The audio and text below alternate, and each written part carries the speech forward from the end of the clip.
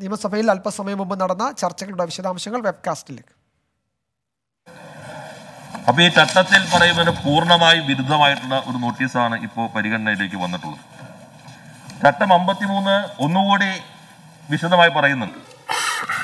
അത് കോടതിയുടെ മാത്രമല്ല നീതി നീതിന്യായപരമോ അർദ്ധനീതിന്യായപരമോ ആയ ഏതെങ്കിലും കൃത്യം നിർവഹിക്കുന്ന ഏതെങ്കിലും സ്റ്റാറ്റ്യൂട്ടറി ട്രിബ്യൂണലിന്റെയോ സ്റ്റാറ്റ്യൂട്ടറി അതോറിറ്റിയുടെയോ അഥവാ ഏതെങ്കിലും സംഗതി അന്വേഷിക്കുന്ന അന്വേഷണ വിചാരണ നടത്തുമെന്ന് നിർമ്മിക്കപ്പെട്ട ഏതെങ്കിലും കമ്മീഷന്റെയോ പരിഗണനയിലുള്ള കാര്യങ്ങൾ പോലും പാടില്ല എന്നാണ് ചട്ടം അമ്പത്തി ഒന്ന് പറയുന്നത്.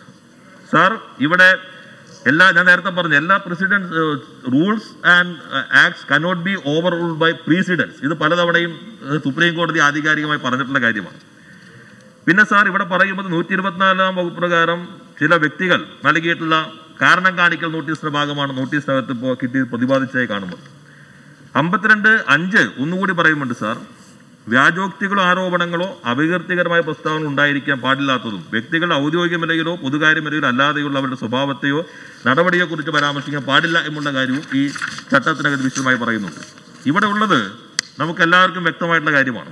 കേന്ദ്ര അന്വേഷണ ഏജൻസികൾ സംസ്ഥാനത്തെ ഭരണഘടനാ പദവികൾ വഹിക്കുന്ന രാഷ്ട്രീയ നേതൃത്വത്തിലുള്ള ചിലരുടെ പേരുകൾ പറയാൻ ഈ കേസുകളിൽ കുറ്റാരോപിതരായി റിമാൻഡിൽ കഴിയുന്ന പ്രതികളുടെ മേൽ സമ്മർദ്ദം ചെലുത്തിയതായ വാർത്തകൾ പുറത്തു വന്നിട്ടുണ്ട്. ഇവന്റെ വോയിസ് ക്ലിപ്പും സമൂഹ മാധ്യമങ്ങളിലൂടെ വ്യാപകമായി പ്രചരിക്കുകയുണ്ടായി. മാധ്യമങ്ങൾ ചർച്ച ചെയ്തിട്ടുണ്ട്. ഇത് സംബന്ധിച്ച് തന്നെ ഒരു അന്വേഷണ കമ്മീഷന്റെ ഇത് വന്നിരിക്കുന്നു. അതോടെ ഇ ഡി ഉദ്യോഗസ്ഥൻ ഹൈക്കോടതിയിൽ ഒരു ഹർജി നൽകിയിരുന്നു. ഈ ഹർജിയിൽ ഹൈക്കോടതി എഫ്ഐആർ റദ്ദാക്കുമ്പോൾ തന്നെ പറഞ്ഞൊരു കാര്യം. ഇതിന്റെ അന്വേഷണ കണ്ടെത്തലുകൾ P M L A case കൈകാര്യം കോടതിയിൽ മുദ്രവച്ച കവർ സമർപ്പിക്കാനാണ്. അപ്പൊ ഇത് സംബന്ധിച്ചുള്ള എല്ലാ കാര്യങ്ങളും മുദ്രവച്ച കവറിൽ തന്നെ കോടതിയിൽ സമർപ്പിക്കാൻ ഹൈക്കോടതി തന്നെ ഡയറക്റ്റ് ചെയ്തിരിക്കുന്നു. ആ ഹൈക്കോടതി വിധിക്കെതിരെ ഇ ഡി സുപ്രീം കോടതിയിൽ കേസ് കൊടുത്തിട്ടുണ്ട്. ഹൈക്കോടതി വിധിയുടെ ഭാഗത്തിന് ഇവർ സർക്കാരും അപ്പീൽ നൽകിയിട്ടുണ്ട് പൂർണമായും ഇത് കോടതിയുടെ പരിധിയിൽ നിൽക്കുന്നതാണ്. അതുകൊണ്ട് കോടതിയുടെ പരിധിയിൽ നിൽക്കുന്ന ഒന്ന് അടിയന്തര പ്രമേയത്തെ ആസ്പദമാക്കി ചർച്ച ചെയ്യാൻ പാടില്ല എന്നുള്ള ഈ ചട്ടം ആ ചട്ടം പൂർണമായും പാലിക്കപ്പെടണം എന്നുള്ളതാണ് പറയാനുള്ളത്.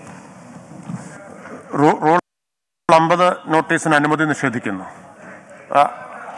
റൂൾ അമ്പത് നോട്ടീസിന് അനുമതി നിഷേധിക്കുന്നു. ശ്രീ ഓ ശ്രദ്ധ ക്ഷണിക്കൽ. ശ്രദ്ധ ക്ഷണിക്കൽ Shri O R Kelu. Rule rule ചെയ്ത് കഴിഞ്ഞു. ആ വിഷയം ഡിസ്പോസ് ചെയ്തു. Shri O R Kelu.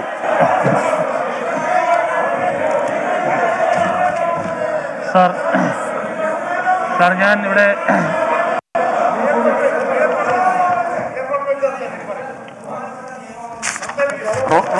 അല്ല ഒരു ഒരു വിഷയം ഡിസ്പോസ് ചെയ്ത് കഴിഞ്ഞാൽ പിന്നെ സംസാരിക്കുന്നത് ഉചിതമല്ല.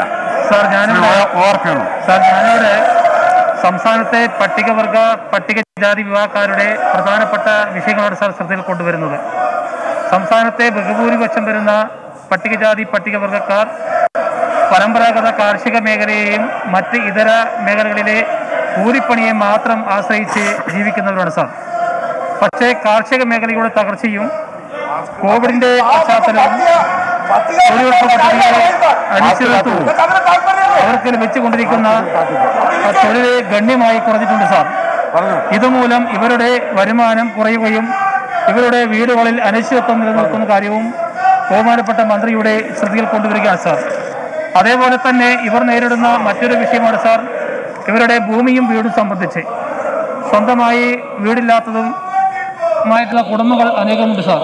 അതുകൊണ്ട് തന്നെ നാം നിർമ്മിച്ചു നൽകുന്ന നാനൂറ്റി അൻപത് ചതുരശ്ര മീറ്ററിലെ വീടുകളിൽ ഒന്നിൽ കൂടുതൽ കുടുംബങ്ങൾ താമസിച്ചു വരുന്നതായി കാണുന്നു സാർ. ഇതുമൂലം ഇത്തരം കുടുംബങ്ങളിൽ പലതരത്തിലുള്ള വിഷയങ്ങൾക്കും കാരണമാകുന്നുണ്ട്. ഭൂമിയുടെ ലഭ്യതക്കുറവ് കാരണം വീടിന്റെ വിസ്തൃതി വർദ്ധിപ്പിക്കുന്നതിനും ലാൻഡ് ബാങ്ക് പദ്ധതിയും അതേപോലെ തന്നെ ഗവൺമെന്റ് നടപ്പാക്കി വരുന്ന ഭവന പദ്ധതിയും ഊർജിതപ്പെടുത്തുന്നതിന് വേണ്ടിയിട്ട് ബഹുമാനപ്പെട്ട മന്ത്രിയുടെ ഇക്കാര്യങ്ങൾ ശ്രദ്ധയിൽ കൊണ്ടുവരണം സാർ. ബഹുമാനപ്പെട്ട പട്ടികജാതി പട്ടികവർഗ പിന്നോക്ക വിഭാഗവും മന്ത്രി.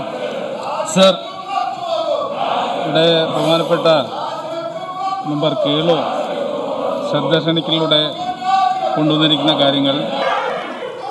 നമ്മുടെ സമൂഹത്തിലെ പട്ടികജാതി ഗോത്രവർഗങ്ങളുടെയും അവരുടെ ജീവിത പ്രയാസങ്ങൾക്ക് പരിഹാരം ഉണ്ടാക്കുന്നതിന് വേണ്ടിയുള്ള കാര്യങ്ങളാണ്. അവരുടെ തൊഴിലും അവരുടെ ഭവന ദാഹിത്യവും അതുപോലെ മറ്റ് പ്രശ്നങ്ങളുമാണ് അദ്ദേഹം ഈ കോളിംഗ് അറ്റൻഷനിലൂടെ ഈ സഭയുടെ ശ്രദ്ധ ക്ഷണിച്ചിരിക്കുന്നത്. ദയവായി വെച്ചാൽ ഈ കാര്യം ഇവിടെ ചർച്ച ചെയ്യുന്ന സന്ദർഭത്തിൽ ഇവിടെ പ്രതിപക്ഷ ബഹളത്തിന്റെ ഇടയിലാണ് ഇതിന് ഞാൻ മറുപടി പറയേണ്ടി വരുന്നു എന്നുള്ളത് നിയമസഭാ നടപടികളുടെ വെബ്കാസ്റ്റ് ദൃശ്യങ്ങളാണ് നമ്മൾ കാണുന്നത്. പ്രതിപക്ഷം അടിയന്തര പ്രമേയം അതിന് അവതരണാനുമതി തേടി സ്പീക്കർ അത് നിഷേധിച്ചു. സ്പീക്കറുടെ റൂളിംഗ് റൂളിംഗിന് ശേഷം പ്രതിപക്ഷം സഭയിൽ ബഹളം വയ്ക്കുകയായിരുന്നു. അതിനുശേഷമാണ് പ്രതിപക്ഷം സഭ ബഹിഷ്കരിക്കുകയും ചെയ്തത്. നമുക്ക് അതിന്റെ വെബ്കാസ്റ്റ് ദൃശ്യങ്ങളാണ് ഇതുവരെ കണ്ടത്.